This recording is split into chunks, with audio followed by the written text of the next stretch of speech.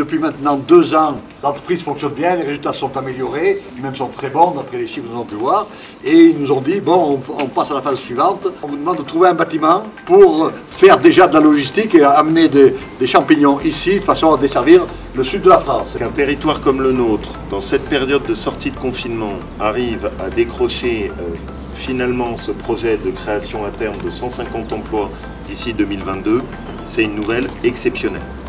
Il faut qu'on remercie Benoît et Fabrice parce que ce qui nous plaît aussi dans cette histoire, c'est que ce sont des histoires de personnes. On a affaire à des personnes qui sont attachées à un territoire, qui portent un projet de, création industrielle depuis longtemps, et avec derrière la famille Girard, qui est une famille de chez nous et qui nous a apporté la réponse euh, pour la solution logistique.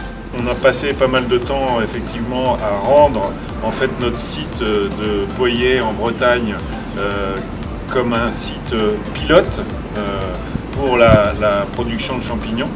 Et aujourd'hui, on, arrive en fait avec une solution quasiment clé en main pour le site du, Puy-en-Velay. Demain, on sera en capacité de, produire quasiment immédiatement 4000 euh, tonnes de champignons par an euh, ici euh, sur cette zone. C'est un marathon, donc il faut être, il faut être endurant.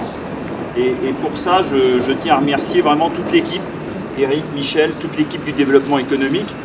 On en parle depuis quelques années, hein. mais, mais c'est assez exceptionnel, comme le disait Laurent à l'instant, c'est de la création.